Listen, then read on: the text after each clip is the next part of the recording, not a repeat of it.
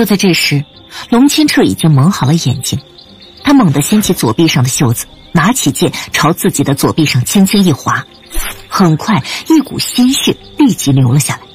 果然，鲜血一滴到藤蔓身上，藤蔓便吓得赶紧躲开，迅速滑了下去。血真的有用，这些藤蔓真的离开了。这时，云若月身上的藤蔓全部滑了下去，那些藤蔓一松开，他的身子便直直的朝地上砸了下去。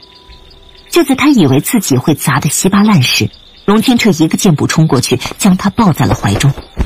这一瞬间，两人都愣在了一起。云若月没想到龙千澈会冲过来接住他，而龙千澈却深深的凝望了云若月一眼，像呆住了一般。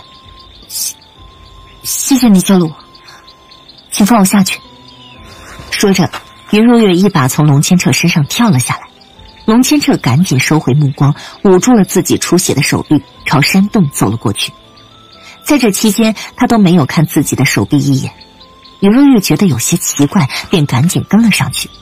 你的手受伤了，急需包扎，一旦感染的话会很严重的。你要替我包扎？虽然我很讨厌你，但是，一码事归一码事，你是因为救我而受伤的，我应该给你包扎。好，谢谢。很快，云若月就把他的伤口缝合好了，接着再用纱布稍稍做了些包扎，好挡住外面的细菌。做完这一切后。他才说道：“好了，你的伤口已经缝合好了，等我给你换几天药，应该就会没事。”谢谢。不用谢，我只是不想欠你罢了。你今天在土屋里杀人的时候，还有刚才划伤手臂时，为何要用黑丝带蒙住眼睛？可能是一种习惯吧。习惯？那你受伤后为何不敢看你手臂上的伤口？但是包扎好后，你却敢看了，这是为什么？抱歉，这是我的事，无可奉告。今天没有风，吹不散这瘴气，看来我们今天不能赶路，只能在山洞里过一夜了。赶路？你是说你要翻过这座山去雪月国？嗯，这座山里有一条通往雪月国的密道，不过离这里还有几里路。现在山中毒瘴弥漫，难以前行。所以，得等明日再说。你还是想带我去雪月国？难道你就不能带我回去，让我回家？抱歉，我从未改变过我的想法。哦，你肚子饿了吧？先在这里休息一下，我去外面找点吃的。你，云若月气得捏紧拳头，可龙千彻已经走了出去。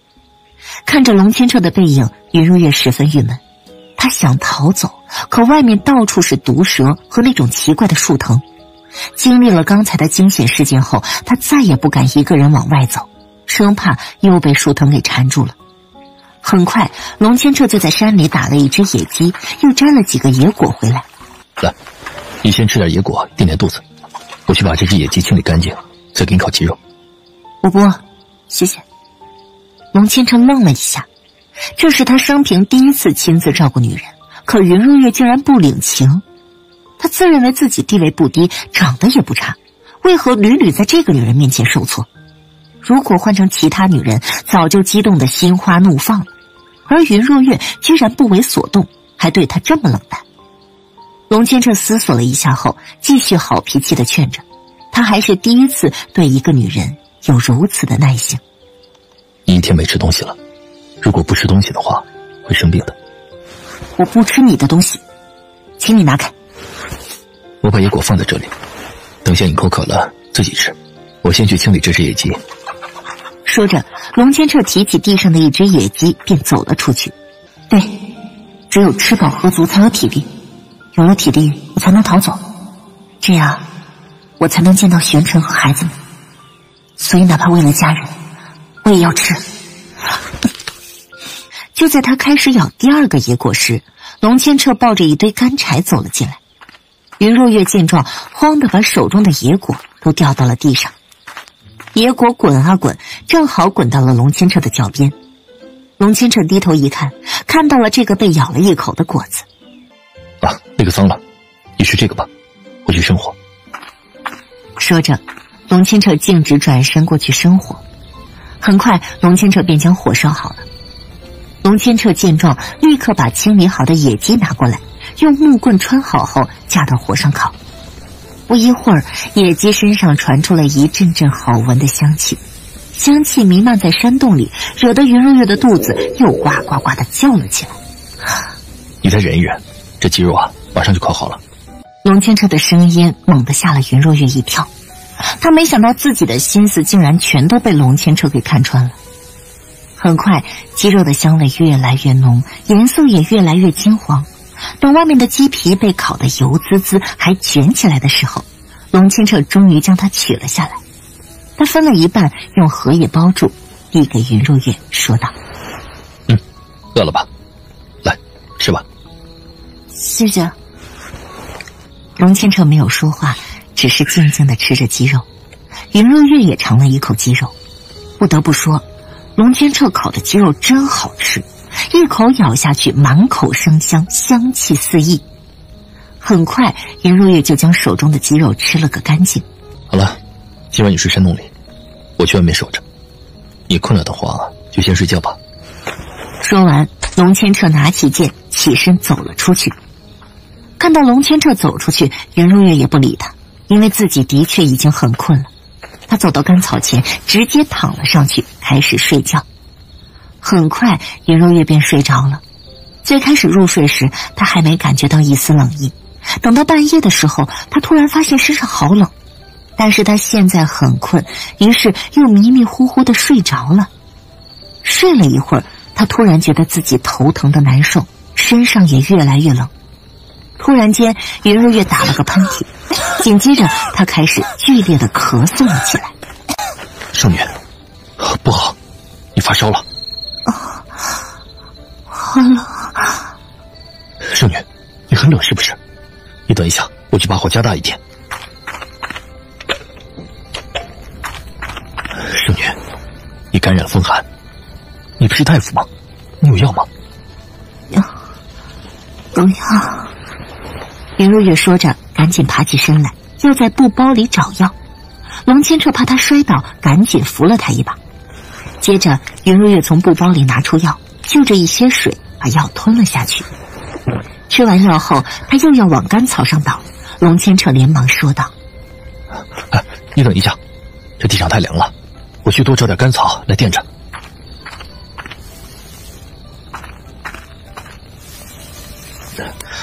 好了。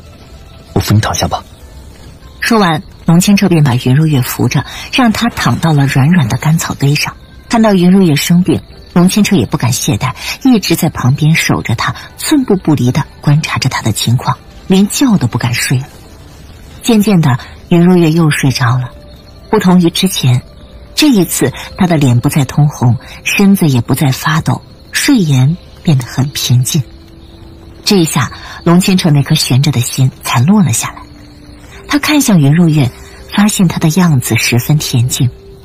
这种恬静给他一种如沐春风、云卷云舒的安宁感。和他在一起，仿佛自己的心情都会变好。一日一早，当一束阳光从洞外射进来，照到云若月的脸上时，他才缓缓醒来。云若月赶紧坐起身来，在洞里扫视了一圈。却并没有看到龙千彻。嗯，龙千彻人呢？难道他丢下我跑了？会吧。正愣神间，林若月听到了龙千彻的声音。他抬眼一看，就看到龙千彻拿着一条烤好的鱼走了进来。你醒了？哦。你感觉怎么样？有没有好一点？感觉好多了。昨晚，谢谢你照顾我。没事你身子虚，要多吃点肉补身子。所以啊，我在河里捞了几条鱼给你烤着。来，你先吃吧。其实你没必要对我这么好。就算你对我再好，我还是很恨你。我知道，不过你放心，我对你好，并不是因为其他，只是因为你是圣女，你身上肩负着救国的责任，所以啊，你不能有事。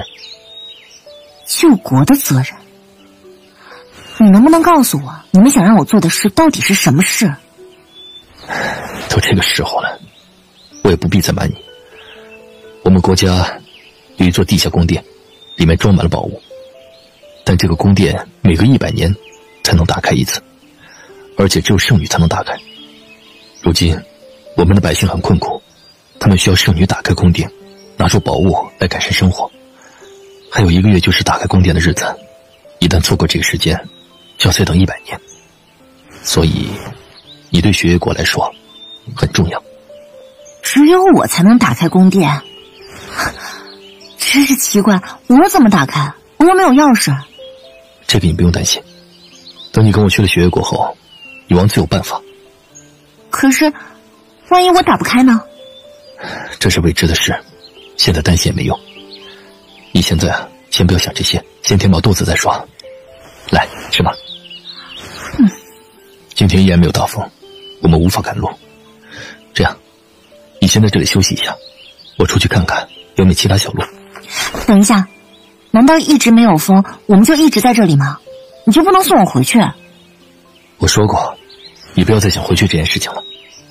从今以后，你永远都回不去了。可恶！云如月气得怒喝一声，他恨恨的捏紧拳头，真想杀了龙千彻。他咬了咬牙后，决定去外面的小溪边洗把脸。等他走出山洞时，龙千彻早就不见了。远处雾霭沉沉，森林里幽暗阴森，到处充斥着诡异的气息。就在云若月洗得很投入时，深潭里突然冒出来一个又粗又长的黑影。此刻。那黑影正睁着一双三角形的眼睛，怨毒的看着他，样子阴冷诡谲。颜若月正洗着脸，突然发现自己被一团黑影给笼罩住了。她赶紧抬头一看，便看到一条碗口大的巨蟒正毒辣的盯着她，吐着蛇信子。啊！蛇！陆天成，你在哪里？有巨蟒，你快来啊！可惜龙千车并没有来。这时，那条巨蟒睁着一双毒辣的眼睛，朝云若月奋力的游动了过来。他仿佛好久没有看到猎物的恶魔一般，样子既兴奋又饥渴。云若月还没跑几步，那巨蟒就爬了过来，一把将他卷进了身体里。救命！救命！这时，龙千彻正从森林里探路回来，才走到山洞附近，他就听到了云若月的尖叫声。龙千彻脸色一惊，赶紧朝前面掠了过去。才掠到前方，他就看到云若月正被一条巨蟒卷到了半空中，而那巨蟒的身子正在慢慢收紧，仿佛要将云若月的腰给卷断。啊、秀女，我来救你！龙千彻急得大叫一声，赶紧拿出黑丝带把眼睛蒙住。接着，他唰的拔出手中的宝剑，朝那条巨蟒疾驰而去。接着，他扬起剑就朝巨蟒的方向刺了过去。龙千彻的剑一刺进巨蟒的身体，巨蟒就发出了可怕的嘶嘶声。他的身体被砍伤后，整个身子便在地上疯狂的摇晃起来。龙千彻接连几剑砍向了那条巨蟒的尾巴，巨蟒一吃痛，倏地松开身子，云若月顺势滚到了地上。听到巨蟒放开了云若月，龙千彻立即松了一口气。突然，那巨蟒见龙千彻蒙着眼睛，便仰起头，猛地袭向了他。巨蟒的攻势又狠又猛，龙千彻一时不察，被他重重挥到了地上。此时，龙千彻的身子砸到地上，难受的吐出一口鲜血。云若月见状，赶紧从地上爬起来，大声喊道：“龙千彻，你小心！”龙千彻擦了一把嘴角的鲜血后，迅速站起来，继续听声辨位，找巨蟒的位置。可是这条巨蟒极其阴险，力气又大。他见龙千彻看不见，便迅速游动到他的身后，用尾巴重重的朝龙千彻砸了过去。龙千彻才察觉到他的方位，巨蟒已经如暴风般一挥，又把龙千彻挥到了一棵大树上。这一次，龙千彻又吐出一口鲜血，并且难受的咳嗽了两声。龙千彻，你为什么要蒙着眼睛？你快把布条拿开，拿开啊！他们身上有血，我我晕血。什么？云若月惊的嘴巴可以塞下了一个大鸡蛋，原来龙千彻竟然晕血，怪不得他不看自己受伤的手臂，杀人时还要蒙眼睛，怪不得那次他在离王府救自己时，只是看了一眼肩膀上的伤口就当场晕倒了。龙千彻是一个练武的武者，竟然会晕血，这也太不可思议了！小心，巨蟒朝你的东南方向来了。好。龙千彻点头后，一个咬牙爬了起来，持起剑便朝巨蟒刺了过去。云若月见状，连忙提醒他巨蟒的方向。有了云若月的帮忙，龙千彻的剑快准狠地刺向了巨蟒的腹部，把他的腹部划出了一道道大口子。巨蟒的肚子被龙千彻划了很多剑后，很不服气，他奋力一跃，跃到了龙千彻面前，一把咬住了龙千彻的左臂。云若月见状，吓得心都快跳出来了，但他告诉自己，越是危险的时候，越不能紧张，他一定要镇定，一定要想办法救龙千彻。突然，他想起了自己系统空间里的电击器。云若月已经很久没用电击器了，他都快忘记了电击器的存在。想到这里，云若月神识一动，就把电击器变到了手中。然后，他拽紧电击器，冷静地跑向那条巨蟒，趁着巨蟒正在咬龙千彻时，猛地将电击器对准他的眼睛，按动了开关。只听滋滋滋的一串电流声响起，那巨蟒就立刻痛苦地摇晃了起来。就在他的大嘴要咬住云若月时，龙千彻猛地将宝剑砍向了巨蟒的头。只听“唰”的一声，巨蟒的头被他一剑砍断，掉在了地上。很快，那与舌头连接的地方突然飙出了一大股鲜血，鲜血一下子喷射到了龙千彻的黑丝带上。龙千彻觉得恶心，赶紧将带子扯了下来。他一睁眼便看到了满地的鲜血，顿时眼前一黑，晕倒在了地上。龙千彻看到龙千彻晕倒，云若月赶紧跑过去扶他。没想到龙千彻看到血又晕倒了，幸好那蛇已经死了，要不然他们都完了。